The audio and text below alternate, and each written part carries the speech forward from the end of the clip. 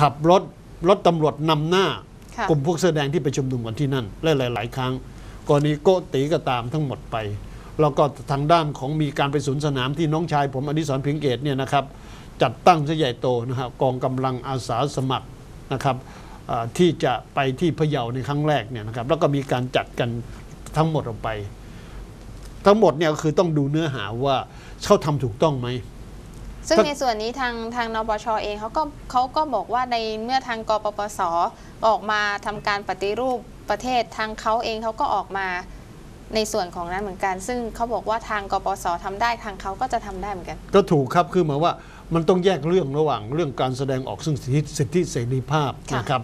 การแสดงสิทธิเสรีภาพเนี่ยเรื่องที่หนึ่งการที่สองคือทำให้ถูกต้องตามกฎหมายค่ะการแสดงออกซึ่งสิทธิเสรีภาพเนี่ยนะครับทางด้านของคุณนัทวุฒินะฮะเอ่อ คุณจตุพรเอ่อก็ต้องแสดงความยินดีกับน้องชายหน่อยนะฮะจตุพรเจ้าซึ่งตู่ได้เนี่ยเป็นนะครับแกนนำก็ได้ขึ้นมาเป็นประธานแล้วค่ะเป็นนะคปรับระธานนปชแล้วก็เอ่ออาจารย์ธิดานะครับกับหมอเหวงคงปรึกษากันแล้วว่าอาจจะรับมือไม่ไหวก็ต้องถอนออกไปเนี่ยนะครับ แต่ประเด็นที่ตามมาว่า ผมไม่เห็นมีมีมีการมาลงคะแนนเลือกตั้งกันเลยนะฮะสสมัยอาจารย์ธิดาเนี่ยมาเป็นประธานปปนปชอ่าหลังจากคุณวีระมุสิกพงศ์นะครับหรือวีรการเขาเนี่ยปรากฏว่าเป็นประธานนปชทั่วประเทศ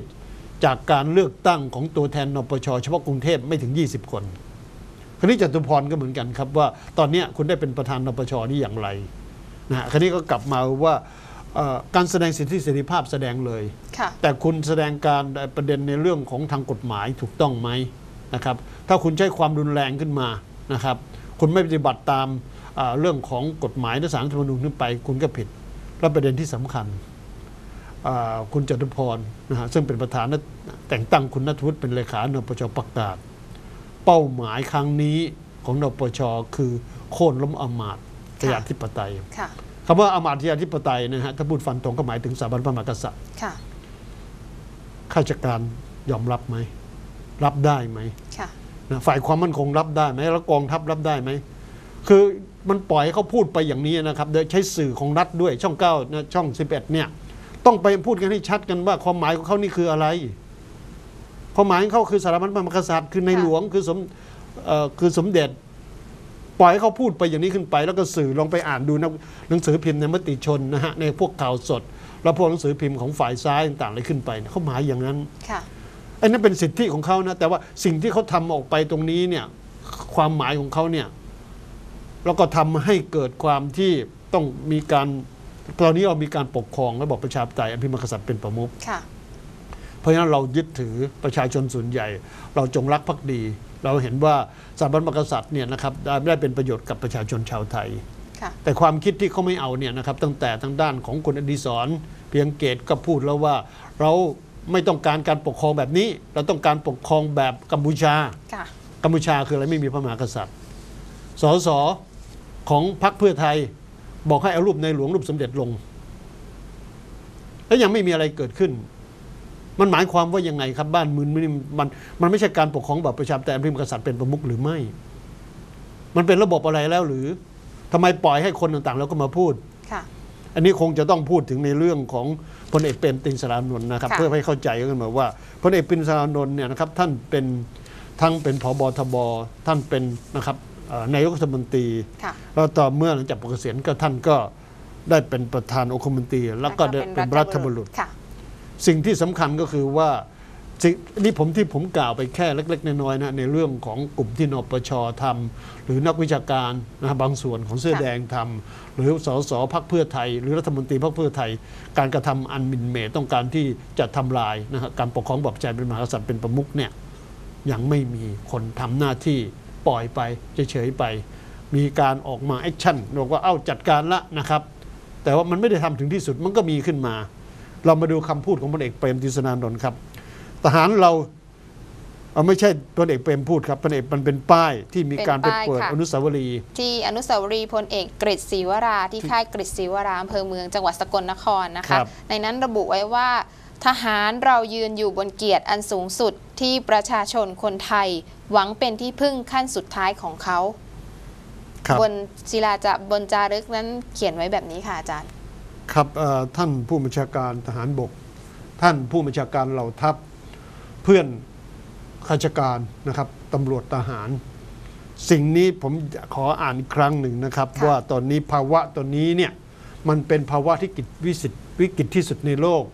เรามีรัฐบาลที่ไม่ชอบทำมีพรรคการเมืองที่เป็นประชาธิปไตย แล้วมีการทำลายนะฮะเกี่ยวกับการปกครองแบบประชาธิปไตยของกษัตริย์เป็นพุกอยู่ตลอดเวลาค่ะแล้วทำให้ประเทศเสียหายทั้งเรื่องเศรษฐกิจสังคมวัฒนธรรมนะฮะค่ะดังเพราะที่ฉะนั้นเห็นในภาพนี้ครัค่ะบอาจารย์ชัดเจนนะครับ ทหารเรายืนอยู่บนเกียรติอันสูงส่ง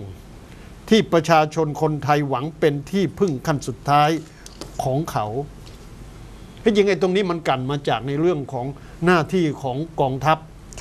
ตามรัฐธรรมนูญ หน้าที่ของกองทัพไม่มีบอกว่านะครับ ผมจะเป็นกลางนะครับ ระหว่างผมจะเอ่ออะไรต่างๆไม่มีค่ะมันไม่ใช่เรื่องการเมืองแต่เป็นเรื่องของบ้านเมืองต้องเข้าทำความเข้าใจให้ถูก แล้วตอนนี้สภาวะอย่างนี้ขึ้นไปแล้ว เมื่อรัฐบาลทำผิดนายกทำผิด ประธานรัฐสภาทำผิดไปแล้วเนี่ยนะครับก็บอกว่าศาลชี้มาแล้วเนี่ย ทางตำรวจฝ่ายผู้รักษากฎหมายทำอะไร ก็ไม่ทำอะไร เพราะอะไร เพราะคนนั้นเนี่ย เป็นบุญคุณแต่งตั้งตัวเองขึ้นมา แต่ว่ากองทัพมีหน้าที่อยู่ 4 ประการหลักค่ะอันที่หนึ่งคือรักษาความมั่นคงของชาติสองรักษาผลประโยชน์ของประชาชนในประเทศชาติสามก็คือรักษานิติรัฐก็คือกฎหมาย ต้องทำให้บ้านนั้นมีกฎหมาย บ้านมันมีคือมีแปรถูกไหมครับค่ะถ้าไม่มีคือมีแปรคือภาพบ้านมันพัง ประเทศที่ไม่มีกฎหมาย หรือมีกฎหมายแล้วใช้บังคับไม่ได้ นายกรัฐมนตรีทำผิดรัฐมนตรีทำผิด พรรคเพื่อไทยที่เป็นรัฐบาลทำผิดแล้วเนี่ยไม่ทำอะไร กองทัพมีหน้าที่ในการรักษานิรัฐ คือทำเป็นเจ้าหน้าที่ของรัฐที่จะไปบังคับคดีทำให้เอาคนผิดมาลงโทษ อย่าไปเอาคนถูกมาลงโทษนะฮะเอาคนผิดมาลงโทษ และเสร็จแล้วเรื่องของความปลอดภัยในชีวิตและทรัพย์สินของประชาชน ซึ่งตอนนี้กองทัพได้ออกมาทำหน้าที่ประกันหลังนะครับ ในเรื่องของมาดูแลมีตั้งบังเกอร์ต่างๆ แต่การทำให้ประเทศนี้เป็นกฎหมาย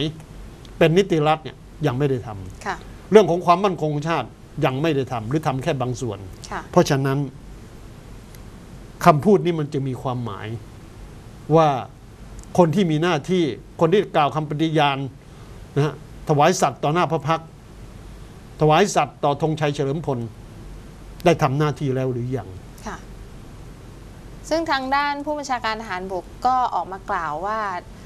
ทำไมทหารถึงยังไม่ออกมา คือต้องรอเป็นให้เป็นไปตามกฎหมายของประเทศไปก่อน ทางด้านอาจารย์มองเห็นว่าควรที่จะออกมาแล้วหรือยังคะมันทางมันด้านคือไอ้เรื่องออกมาไม่ออกมามันเป็นการเป็นเป็นเป็นเรื่องของสสำนึกความรับผิดชอบที่จะต้องมีต้องต้องตอนนี้ก็คือว่า ผมว่าเป็นความเข้าใจที่ถูกทำให้เข้าใจไปว่าตอนนี้เนี่ยทหารต้องมีหน้าที่เป็นกลางนะเห็นไหมครับ สื่อหนังสือพิมพ์ของอาพวก ฝ่ายทักษิณนะฮะออกมาลักษณะอย่างนั้นหมดค่ะทีวีต่างๆออกมาทหารต้องเป็นกลางต่างๆขึ้นค่ะมาประประเด็นตรงนี้มันมีความชัดเจนอยู่แล้ว ถ้าเกิดว่าขบวนการนะฮะถ้าศาลกำลังตัดสินอยู่ว่านายกพักเพื่อไทยรัฐมนตรีต่าง ๆ ประธานเอ่อนิคมประธานสมศักดิ์เนี่ยนะครับค่ะยังไม่ผิด อันนี้ต้องคอยขั้นตอน แต่ตอนนี้ตัดสินหรือยังครับยังค่ะตัดสินว่าผิดแล้วนะคะนะครับ ตัดสินไปเรียบร้อยแล้วสารมนุนตัดสินไปแล้วสองครั้งแล้ว เมื่อตัดสินว่าผิดไปแล้วเนี่ย มันต้องคอยอะไรอีกครับศาลตัดสินแล้ว เราอยู่ในการปกครองแบบประชาธิปไตยอันพิมากษัตริย์เป็นประมุขฝ่ายบริหารทำหน้าที่บริหารใช่ไหมฮะมีงบประมาณบริหาร ฝ่ายรัฐสภาทำหน้าที่ออกกฎหมายค่ะทางศาลคือมีหน้าตัดสินหน้าที่ตัดสินความผิด ความขัดแย้งกรณีที่มีความขัดแย้ง ตอนนี้ศาลตัดสินแล้ว คดีมันจบเรียบร้อยแล้วครับ ท่านพบทบครับ มันจบแล้ว เพียงแต่ว่าคนมีหน้าที่รับผิดชอบจะทำหรือไม่ทำถ้าทำมันก็ได้ชื่อว่าได้ทำหน้าที่อย่างสมบูรณ์แบบ ได้ทำหน้าที่ตามคำที่ได้ถวายสัตย์ปฏิญาณ แต่ยังไม่ทำเพราะอะไรทำไมถึงยังไม่ทำเมื่อเมื่อความผิดมันชัดเจนบทศาลตัดสินแล้ว จะให้ใครตัดสินอีกก็เปล่าครับ อันนี้มันมันชัดเจนครับ ค่ะอาจารย์มุมมองมุมมองของอาจารย์มองไปทางด้านนั้นเลยใช่ไหมคะมันไม่ใช่มุมมองของผมฮะมันเป็นมุมมองถ้าเราอยู่ในระบบการปกครองแบบประชาธิปไตย ค่ะ คนสองคนทะเลาะกันนะฮะขั้นตอนคือเอาตำรวจมาบันทึกอายการขึ้นไป พอตัดสินทางศาลตัดสินเนี่ยว่าผู้ใหญ่ที่รังแกเด็กผิด มันจบไปยังครับคดีนี้ ไม่ใช่มุมมองของผม เราอยู่ในขบวนการของการปกครองแบบประชาธิปไตย ที่มีอำนาจต้องทวงดุลกันค่ะตอนนี้บ้านเมืองมันมีปัญหา ก็คือว่า